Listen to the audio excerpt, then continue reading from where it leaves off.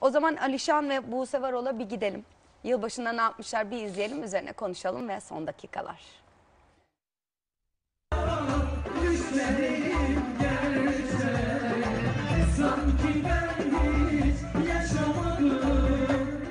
Bir şey diyeceğim, sesi çok güzel.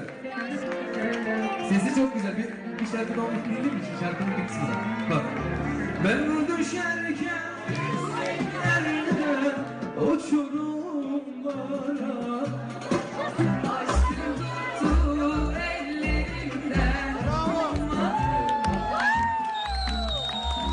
Şimdi sen hayat rüya Düşlerim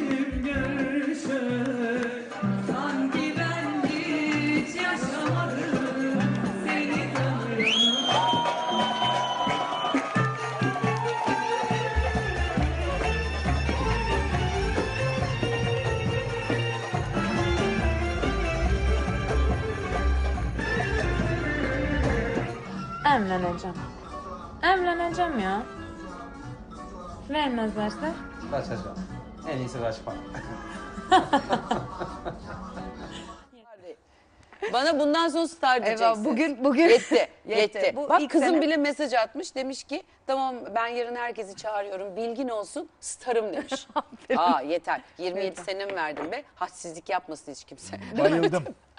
Ee, şeye Alişan'la Değil mi? sevgilisinin e, Nasıl gerçek değil mi? işte bu işte Çok hissediliyor Eda yani. Erol çok Fışkırıyor aşk. zorakiydi. Hep böyle hani Ama Eda'yı da sanki şey gibi yapmayalım. Hani o kızın da bir kabahati şey- yoktu yani Ya bir orada. şey yapalım o, Hayır, demiyorum. Eda o çok olan konsept ilişkisi- konsept Evet. birliktelikti. Her ikisi için de evet Heh. istediler ama olmayan bir Orada durumdu. aileler galiba. Evet, bir de istedi. Hani, e, zaten Cumhurbaşkanımıza da söz verdim dedi. Evet. İşte çocuk bir Mesele an önce bu. hani bu mesele Evet, buydu o da ama gencecik bir Ama mesele ne söylüyorum senin gönlünün kabul ayrıl- ettiğini aklın kabul etse ne olur? Bak gönlünün kabul etmediğini aklın kabul etse ne olur? Hani dersiniz ya mantık evliliği mi aşk evliliği mi? Mesele şu.